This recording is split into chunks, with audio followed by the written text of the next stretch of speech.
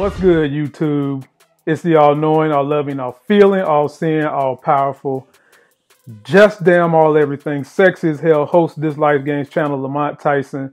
Checking in with you guys from the sexy as hell man cave of America. We talking fire stick and chill this week, ladies and gentlemen. And this week's fire stick and chill is a continuation of a show that I did last week called The Good Wife. They have a new spin-off series called The Good Fight. Shouts out to my high school friend and follower, Kiera, for pointing this out to me. It's a great show. Take a look at the trailer. Take a look at the actors to give you guys a little background so that you can make an informed decision on how you're going to spend your time being entertained. me a piece of advice. When in trouble, hire Elsbeth. That's me. So, what do you two need? There again. Like nothing happened. Are you being sarcastic? Do my bros. I. Check, please. Oh, a fight. Yes. That's a great idea.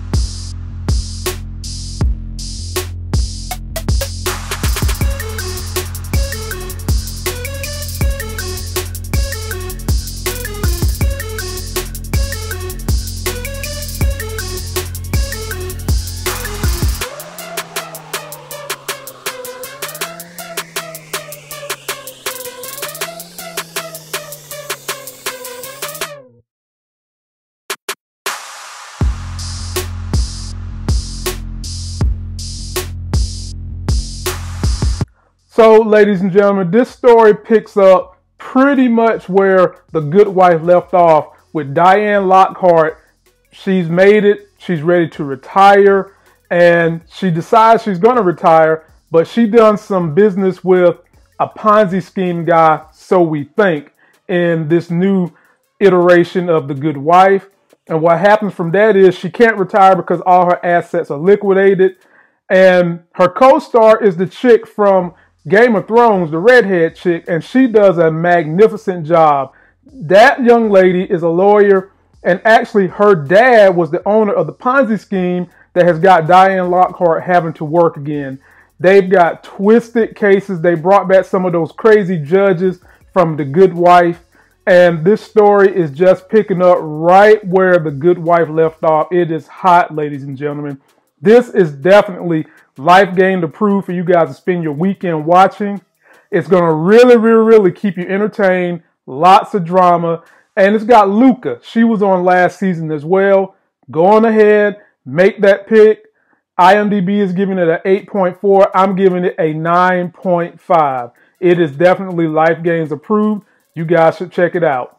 Now I'm going to go ahead and give you guys my movie pick of the week that you should go out to the theaters and watch if you haven't seen it. Take a look. I got hypnotized last night. Nigga, get the fuck out of here. Bro, I don't care if the bitches are Iyanla Vanzant, okay? She can't fix my motherfucking life. You ain't getting in my head. Bro, how you not scared of this, man? Look, they could have made you do all types of stupid shit. They have you fucking barking like a dog, flying around like you a fucking pigeon, looking ridiculous, okay? Or, I don't know if you know this, white people love making people sex slaves and shit. Sir, can I see your license, please? Wait, why? Yeah, I have state ID. No, no, no. He wasn't driving. I didn't ask who was driving. I asked to see his ID. Yeah, why? That doesn't make any sense. Here. You don't have to give him your ID because you haven't done anything wrong. Baby, baby, it's okay. Come on. Anytime there is an incident, We have every right to ask.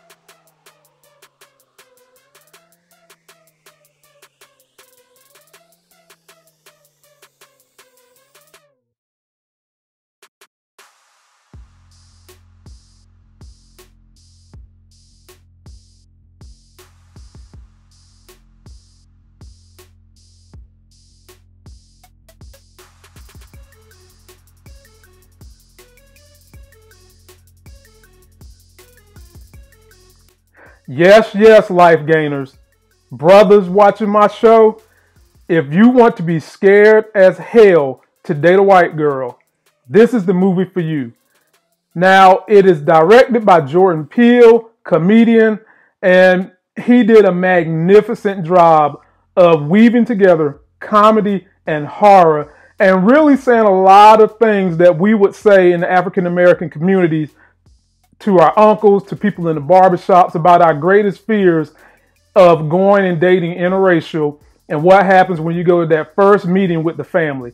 It's just that he expanded on it a little more than what we could have ever imagined. There's some, a little bit of histrionics involved where they have some slavery issues going on. There's somewhat of a little slave trade going on.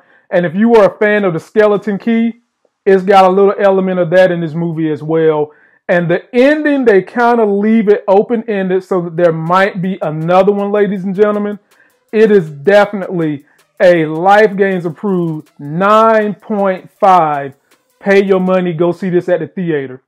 You will not be disappointed, ladies and gentlemen. And you might walk out of there with a greater appreciation for what people can do when they cross over careers. Jordan Peele, shouts out to you, my man. This was well done, well thought of and I wish you more and more success.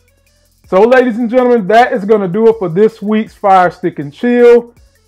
Don't forget to like this video, comment, and subscribe. Go out there and get yourself a life gain.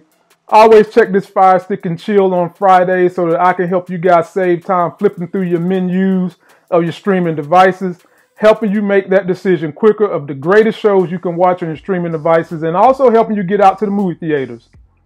Always check the video description box below my video. Do business with me, do business with my affiliates. Until the next Sex is Hell video, I'll see you.